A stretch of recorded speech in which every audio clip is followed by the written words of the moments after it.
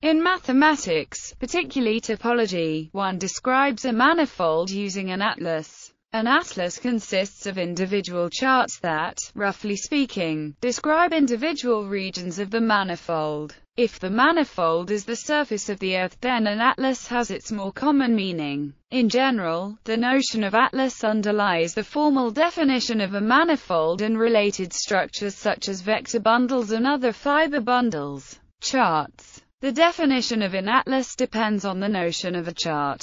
A chart for a topological space M is a homeomorphism from an open subset U of M to an open subset of Euclidean space. The chart is traditionally recorded as the ordered pair. Formal definition of atlas. An atlas for a topological space M is a collection of charts on M such that if the codomain of each chart is the n-dimensional Euclidean space and the atlas is connected, then M is said to be an n-dimensional manifold. Maximal atlas The atlas containing all possible charts consistent with a given atlas is called the maximal atlas, i.e., an equivalence class containing that given atlas. Unlike an ordinary atlas, the maximal atlas of a given manifold is unique. Though it is useful for definitions, it is an abstract object and not used directly. The completion of an atlas consists of the union of the atlas and all charts which yield an atlas of the manifold. That is, if we have an atlas on a manifold, then the completion of the atlas consists of all those charts such that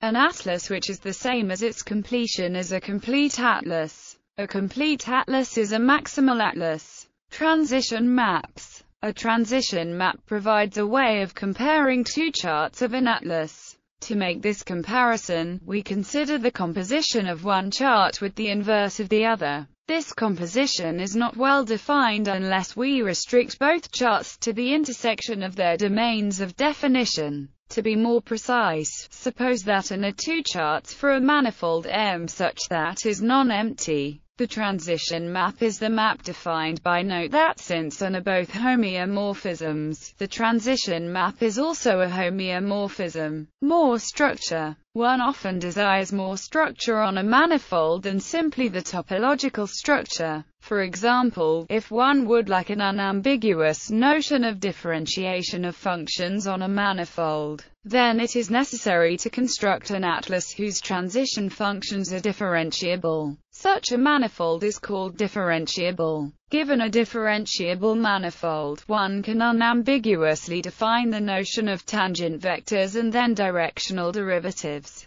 If each transition function is a smooth map, then the atlas is called the smooth atlas, and the manifold itself is called smooth. Alternatively, one could require that the transition maps have only k continuous derivatives in which case the atlas is said to be very generally, if each transition function belongs to a pseudo-group of homeomorphisms of Euclidean space, then the atlas is called a atlas. If the transition maps between charts of an atlas preserve a local trivialization, then the atlas defines the structure of a fiber bundle.